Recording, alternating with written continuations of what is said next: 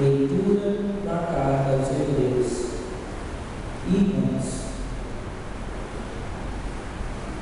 os sacerdotes da antiga aliança sucediam